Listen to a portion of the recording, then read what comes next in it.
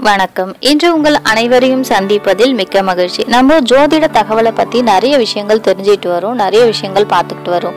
அந்த வகையில் இன்னைக்கு நம்ம தெரிஞ்சுக்க போகிற விஷயம் முக்கியமான விஷயம் வாழ்நாள் முழுவதும் நமக்கு உபயோகப்படுகின்ற ஒரு முக்கியமான தகவலை பற்றி தான் இன்னைக்கு நம்ம பார்க்க போகிறோம் எந்தெந்த நட்சத்திரத்தில் பிறந்தவங்க என்னென்ன பண்ணணும் அப்படின்றத பற்றி நம்ம நிறைய வீடியோ போட்டிருக்கோம். அந்த வகையில் இன்னைக்கு நம்ம தெரிஞ்சுக்க போகிற வீடியோ எந்தெந்த நட்சத்திரக்காரர்கள் எந்தெந்த நட்சத்திரக்காரர்கள் எந்த பகவானை வணங்கினா நல்லா இருக்கும் அப்படின்றத பத்தி தான் நம்ம தெரிஞ்சுக்க போறோம்.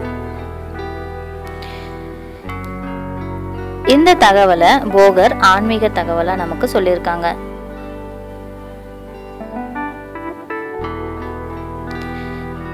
இந்த பரிகார தகவலை நம்ம தெரிஞ்சு வச்சுக்கிட்டு நாலு பேருக்கு சொல்லுங்க. அதாவது நட்சத்திரத்தை பத்தி நம்ம முதல்ல சொல்லியிருக்கோம். யார் யார் என்னென்ன நட்சத்திரம் எந்தெந்த பகவானை கும்பிடணும் அப்படின்றதெல்லாம் தெரியப்படுத்தியிருக்கோம். எந்தெந்த நட்சத்திரக்காரர்கள் என்னென்ன கோயிலுக்கு போகணும் அப்படின்றதையும் தெரியப்படுத்தியிருக்கோம்.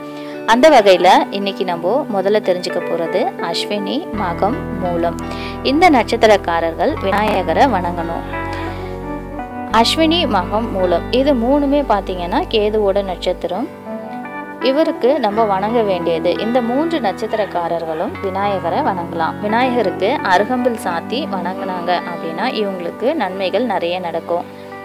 அரச மரத்து அடியில் இருக்க விநாயகர் கிட்ட போயிட்டு ஒரு பொடி பச்சரிசி கையில் எடுத்துட்டு போயிட்டு காலையில் செய்யணும் இந்த வேலையை. அதாவது காலையில் அஞ்சு மணியில இருந்து ஒன்பது மணிக்குள்ள செஞ்சு முடிக்கணும். கையில பச்சரிசியை எடுத்து மூன்று சுத்து சுத்திடுங்க. மூன்று சுத்து சுத்தி அந்த பச்சரிசியை விநாயகருக்கு பின்புறமாவோ இல்லைன்னா மரத்தடியிலையோ போட்டுட்டு மனசார என்ன வேண்டிட்டு வராங்களோ இவங்களுக்கு அப்படியே நடக்கும். இதை வந்து அஸ்வினி மகம் மூலம் இந்த நட்சத்திரக்காரங்களுக்கு நல்ல நிறைய நன்மைகளே நடக்கும். இதை எல்லாருமே பண்ணலாம்.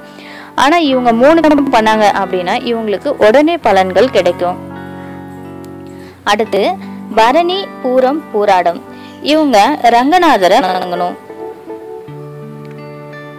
அடுத்து கிருத்திகை உத்தரம் உத்திராடம். இவங்க ஆஞ்சநேயரை வணங்கணும். இவங்க மூணு பேரும் மூன்று நட்சத்திரக்காரர்களும் ஆஞ்சநேயருக்கு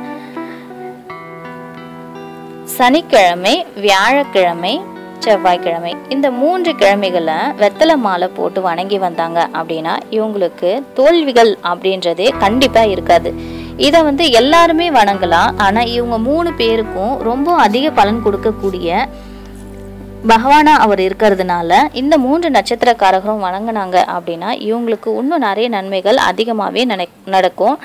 வேண்டிய காரியங்கள் உடனே நடக்கும். வேலை இல்லாதவங்களுக்கு உடனே வேலை கிடைக்கும். இந்த மூன்று வாரத்தை மட்டும் முடிச்சிட்டாங்க அப்படின்னா அவங்களுக்கு கண்டிப்பா நல்ல நற்பலன்கள் நிறையவே கிடைக்கும். அடுத்து ரோஹிணி ஹஸ்தம் திருவோணம்.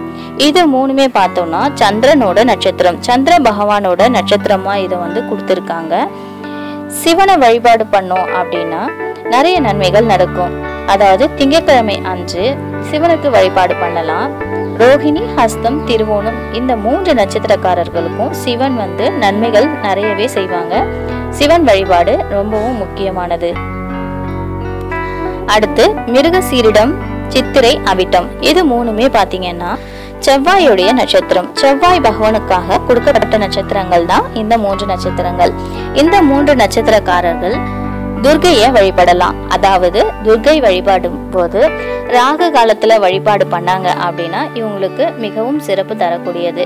செவ்வாய்க்கிழமை அன்று மூன்று மணியில இருந்து நாலரை மணி வரைக்கும் ராகு காலம். அந்த டைம்ல இவங்க பண்ணாங்க அப்படின்னா இவங்களுக்கு நிறைய வெற்றிகள் கிடைக்கும்.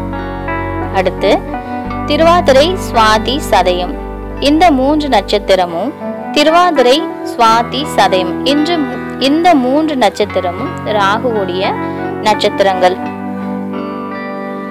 ராகுவின் நட்சத்திரமான சுவாதி நட்சத்திரக்காரர்கள் திருவாதிரை நட்சத்திரக்காரர்கள் சதயம் நட்சத்திரக்காரர்கள் பைரவரை வழிபாடு பண்ணாங்கன்னா அவங்களுக்கு நிறைய நன்மைகள் நடக்கும். பைரவர் வழிபாடு இவங்களுக்கு ஒரு பிளஸ்ஸாக தான் இருக்கும்.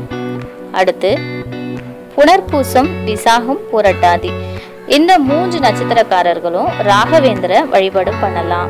ராகவேந்தருக்கு வழிபாடு பண்ணும்போது இவர்களுக்கு நிறைய நன்மைகள் நடக்கும். ஆயில்யம் கேட்டை ரேவதி. இந்த நட்சத்திரக்காரர்கள் புதனுக்கு அதிபதி அதிபதியான நட்சத்திரம். புதனுடைய நட்சத்திரமான இவங்க பெருமாள் வழிபாடு இவங்களுக்கு ஒரு ப்ளஸ்ஸாக இருக்கும். பெருமாளை வழிபாடு பண்ணலாம். சனிக்கிழமை அன்னைக்கு விரதம் இருக்கிறாங்க அப்படின்னா இவங்களுக்கு ரொம்ப நன்மைகள் நடக்கும். இன்னைக்கு இருபத்தேழு நட்சத்திரக்காரர்கள் எந்தெந்த பகவானை வணங்கணும் அப்படின்றத பத்தி போட்டிருக்கோம். இதுல ஏதாவது உங்களுக்கு டவுட் இருந்தது அப்படின்னா கமெண்ட்ல கமெண்ட் சொல்லுங்க. தேவையானதை நாங்க வெளிப்படுத்துறோம்.